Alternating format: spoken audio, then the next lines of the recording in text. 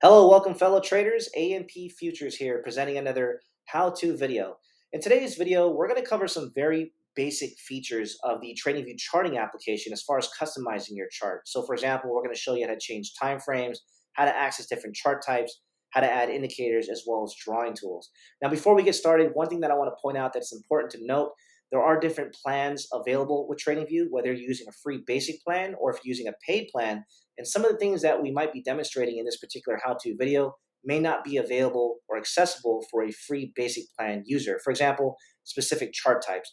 If you're wondering where to go to see the differences in plans, just go to TradingView's website at www.tradingview.com, click on products and click on pricing. And you'll notice if you scroll down just a bit, you'll see where it says show all features. You can click the little drop down and this will give basically give you a comparison between all the different plans. For example, you can see here intraday charts. You can see you know a lot of this stuff is not available on a basic free plan. So just have an understanding if you are a free user and you're wanting to access a specific chart type that we're demonstrating, you're going to need to most likely upgrade to a paid plan to access those features. So again, go to tradingview.com at the very top.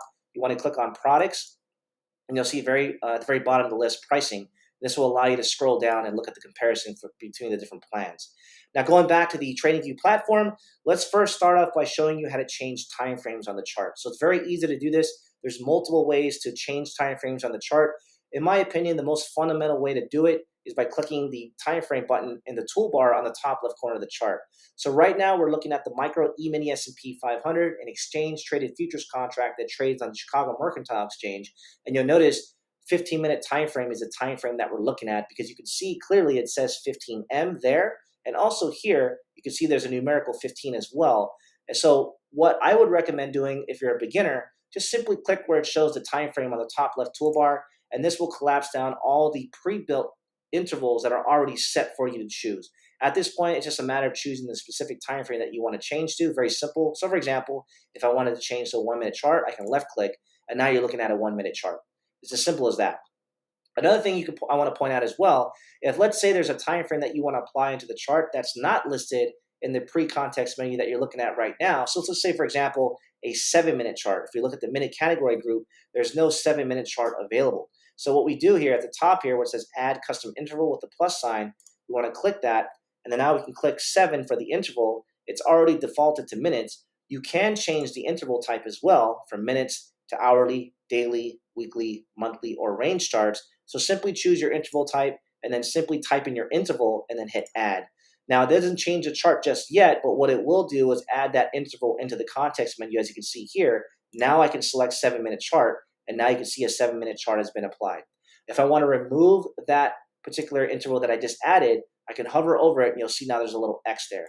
Now keep in mind the one that are the ones that are already added there by default cannot be removed. If you notice some of them don't have X's. Like for example, this 3 minute doesn't have an X, 5 minute doesn't have an X, 15 minute doesn't have an X. So if you don't see the X, this means that you cannot remove it, but the 2 minute does, so I can remove that one. All right, that's one way of changing the interval or time frame on the chart. Another way is you can click the numerical value that you see here on the top of the chart, just click on it, and now you can just simply type in the value. So I can do, for example, 15, and now it's a 15 minute chart. The last way to do it is pretty easy as well. You could just simply type in the interval on your keyboard. So for example, I've hit five, just hit enter, and now the time frame has been changed to a five minute chart. If I just hit one, hit enter, now it's been changed to a one minute chart. And last but not least, one thing I want to point out, which you'll see me talk about often as we go through this particular segment, you'll see me talk about favorites. So favorites are really nice because what that's going to allow you to do is be very efficient in accessing your favorite time frames, favorite chart types, favorite indicators, favorite drawing tools, whatever the case may be. So what you want to do in this case for time frames, notice that to the right of every time frame, there's a little star icon. So if I click the little star icon, let's just say here one minute, notice now how that star is yellow. Five minutes, star is yellow. You can see 15 minute, star is yellow. Now you can see these, these favorites are now listed in the toolbar, so I can easily change from one time frame to another because they are now favorites. All right. Now, if I want to remove those favorites, you, are looking for the button with the little arrow pointing down, and now I'm going to deselect those yellow icons, and now notice the favorites are moved, removed. All right. So that's how you change the time frames, how you add time frames that are not available, and how you also add them as favorites as well. Let's move on to the next subject. We're going to show you how to access different chart types on the TradingView charting. So chart types, is very similar to applying different time frames on the chart. You'll notice the chart type icon is right here. It's to the right of the time frame button. It looks right now, this is a candlestick chart, so it's showing a candlestick icon. If I click it, now it shows all the different chart types that are available to you. As I mentioned earlier in the segment, if you are a free basic user, some of these chart types you're not going to see. Like, for example, you're not going to see volume footprint. You're not going to see TPO charts, for example. So you're going to need to upgrade your plan in order for you to access the advanced chart types. I believe we're using a pro version of the of the software right now, so we're able to access some of these nice features as far as chart types. But as far as changing the chart type, it's very straightforward. All you're simply doing is left clicking the specific chart type that you want to change to. So for example, here's a range chart. All right, now I can go back to the range chart icon and I can just select a different chart type. So let's just say, for example, area chart. So these are all just basic, basic examples. Same thing, if you want to be able to add favorites to different chart types, you'll notice to the right of every chart type, there's a little star icon. So for example, I can go, um, let's just say the area chart, I can highlight it. Let's do line break and let's do candlesticks as well. So now you can see these are all favorites with the yellow stars, as you can see here. And once you add them, notice now you have three icons of your favorites. So I can easily change from one chart to another without actually hitting the actual drop down to select the chart type within the context menu. So it just makes it a little easier, kind of reduces an additional click per se. To remove the favorites, of course, you deselect the yellow stars. And now notice that it's only one icon, and it just takes you right back to that context menu. And that's how you access different chart types and how you apply them as favorites as well. Let's move on to how to add indicators onto the chart. So very similar, you'll notice to the right of the chart type button, there's an indicators button as well. So if I click this indicators button, this brings up the indicators box. So the couple category groups that you can see here, you can see technicals, you can see financials, and you also see community. The one thing that I like about TradingView is they've kind of kind of almost integrated social media into their platform. And what I mean by that is this community tab, for example, the language that's used to code in TradingView, from my understanding, is called PineScript. So this basically allows you to customize and build your own custom indicators if you're familiar with the PineScript language. And the community within TradingView is very vast; it's very large. So you have a lot of traders that are willing to share their ideas and upload these custom indicators. And you can see here from the community category group, these are all the different custom indicators that the community has created. And it's really cool because, it, as I mentioned, it kind of have, has more of like a social media approach where you have likes. So you can see, like, for example, the Maxwell Price Action Suite has nearly 2,500 likes. So again, it's all up to you whether or not you want to be able to, you know, use the indicator. If you want to read more information on it, you can click where it says read more. I know I'm getting a little off topic, but I just think this is one of the biggest strengths of TradingView is they've really integrated a social media approach to their platform where you typically don't see that with many platforms. And it just kind of, you know, sometimes I like to say trading can be a lonely environment. I think it's a it's a healthy thing to be able to interact with other traders right on the fly and do it right in within, within the platform itself. And TradingView has done an excellent job doing that. So let's get back to showing you how to add indicators. So there's a couple ways you can do it. First, you just want to search for the indicator that you want to add. So in this case, let's just add something that we see here, very simple. Uh, let's just scroll down and choose an ATR, for example, average true range. Once you click it, it's going to apply the indicator right onto the chart. All right, so that's a subchart. A subchart essentially will break the chart in half. It'll create a subchart at the bottom of the main chart. As you can see, ATR is at the bottom and the main chart is at the top. And if you hover your mouse cursor over the dividing line, your mouse cursor will turn into a double-sided arrow, and this allows you to left-click and drag and resize the subchart to your liking. Okay. Now, if you want to be able to remove the indicator or make any adjustments to the indicator, notice on the top left corner of the subchart where it shows ATR. If you hover over it, it'll it'll show you a few more menu options. All right. So you can see here that basically removes the indicator. But if I go here where it shows more, now I can go to the bottom here and go to settings, and this allows me to change the settings of the indicators from whether it's input settings, style, or visibility. So just make sure you make your changes accordingly. Once done, you want to click OK. Of course, if you want to remove the indicator, just simply click the X, and now the indicator has been removed. Let's show you one more example. We're going to go to indicators again here. Now, if you know the name of the indicator specifically, you can just type it in. So here in this case, Bollinger Bands. All right. All right, we'll just type in, there it is right there, Bollinger Bands. We're going to left click it, and now the indicator has been applied right onto the chart. Okay, it's very obvious that's there, but if you notice at the top left corner, it also tells you here, BB means Bollinger Bands.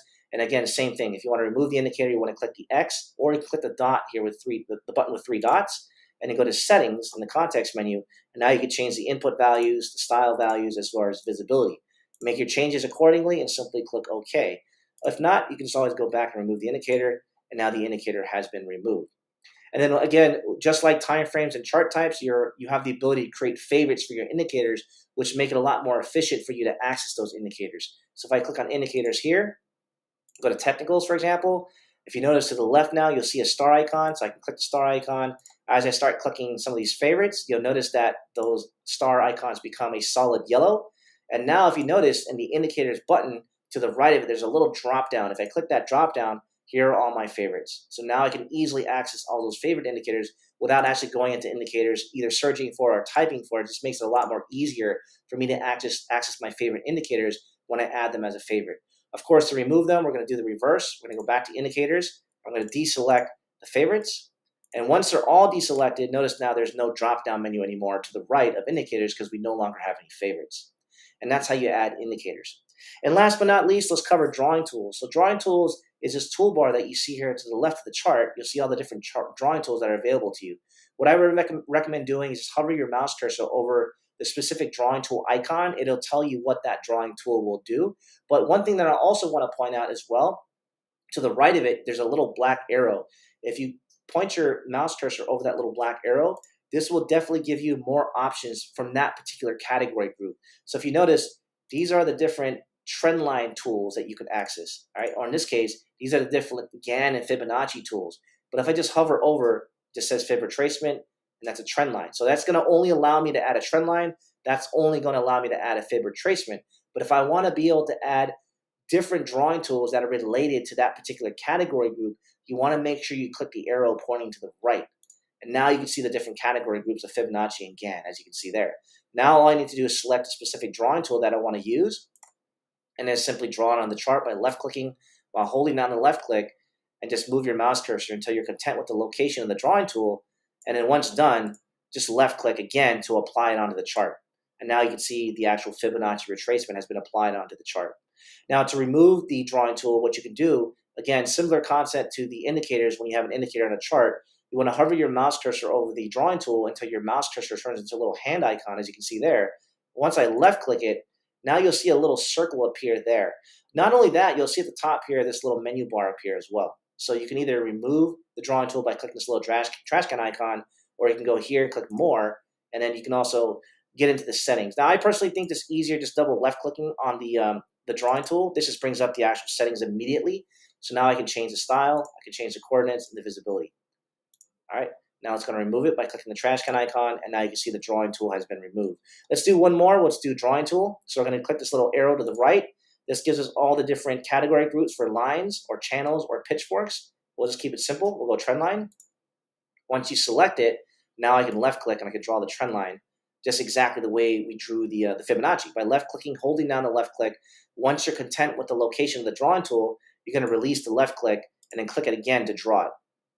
All right, or you can double left click it. Once you're looking, you're looking for that little. Well, once you have the circle there, you can just actually double left click on it, and this brings you into the settings of the actual trend line. So I can change the style, the text, coordinates, and visibility. Or I can just remove the indicator as I demonstrated earlier. And just like chart types and just like time frames and indicators, what do you know? We can also add them as favorites as well. So we can do that just by simply going to the specific drawing tool category group and just highlight the, uh, the star icon, make sure it's yellow. And once you do that, you'll notice here in the top right corner, this little panel will open up, and this will actually start to add some of those favorites into this little panel here. So let's just go with a different category group. Let's go to the Fibonacci's. Let's add that as a favorite. And now you can see all four of those are favorites as drawing tools. You can move this little panel around too. You don't necessarily have to have it in one location. What you're looking for is that little button with the six dots. So your mouse cursor will turn into a little hand icon as it does there. And I can left click and you can just put it on any area on your screen. Uh, I personally like to have it on top right corner. All right, and now I can just easily click one of the drawing tools. I can just draw it. So this basically reduces the amount of clicks in order for me to access the actual drawing tool. All right, and of course, to remove the drawing tool, you want to go back to the category groups and you want to deselect those star icons, as I'm doing now. And once you deselect all of them, that panel goes away because you no longer have any drawing tool favorites. All right, and this is a quick how-to video on how to customize your chart. We covered how to change timeframes. We covered how to access different chart types, how to add indicators, as well as drawing tools. If you have any questions about anything that we've demonstrated, please do not hesitate to contact our 24-hour support staff. You can reach us at www.ampfutures.com. We're available directly to speak to on the phone, or you can contact us on our live chat, As long as the markets are open, we're here to support you. We're open. So please do not hesitate to contact us directly. Thank you very much for listening in. We appreciate your support. Continue watching and keep keep up to date on any new ideas that we present onto the TradingView website. We're going to be very proactive in getting new content up as much as we can. We thank you very much. Have a nice day and happy trading.